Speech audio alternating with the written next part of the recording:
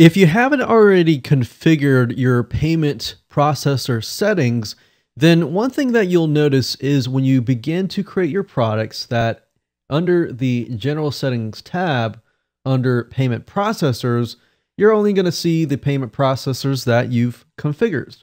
So in order to see other payment processors that you might be using, such as Stripe, Authorize.net, 2Checkout, or even PayPal, you will need to go to the very top under Settings and click on Payment Integration.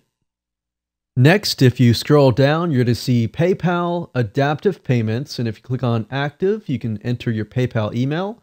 Do the same thing with PayPal Standard. Click on Active and enter your PayPal email. And then, of course, to configure the other payment processors, you will need to click on Active. So for example, if you're using authorize.net, if you click on active, you enter your API login ID. And to get the ID, we have instructions here. You can simply go to your authorize.net account, go under account, go to security settings, API login ID and transaction key, and simply enter that right here.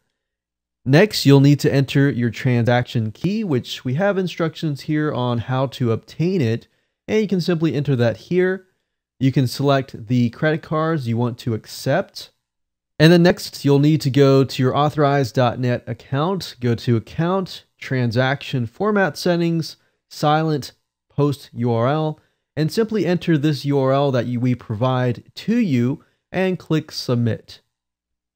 Same thing goes for Stripe and 2Checkout. If you would like to activate it, simply click on active and you can simply click here to get your Stripe API keys and simply grab the, the secret key and the publishable key, enter them here, click the credit cards you would like.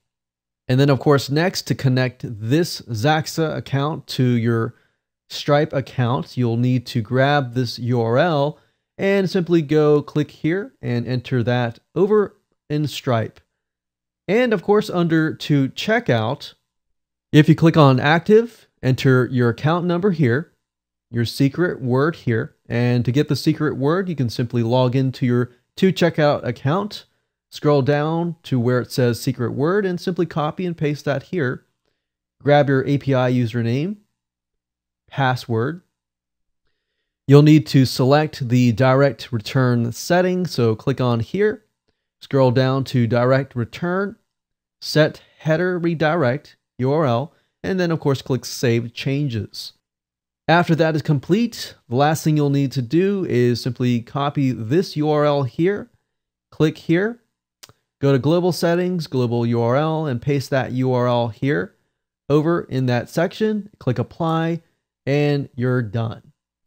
And of course, if I go under Products, go to Add New Front End, and I go under the General Settings tab, under payment processors, you'll notice that it allows me to add that specific payment processor. So as you can see, we can see PayPal Adaptive, PayPal Standard, Authorize.net, Stripe, and 2Checkout.